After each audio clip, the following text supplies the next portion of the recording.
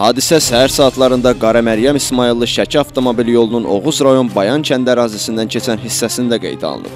Hyundai və Niva markalı avtomobillərin toqquşması nəticəsində 6 nəfər xəsarət alıb. Yaralılardan 2 nəfər 54 yaşlı Zaqatala rayon sakini Oruz Ramazanoğlu Məhərrəmov və 58 yaşlı Ağdam rayon sakini Eldar Ərşadoğlu Quliyev xəstəxanaya getməkdən imtina ediblər.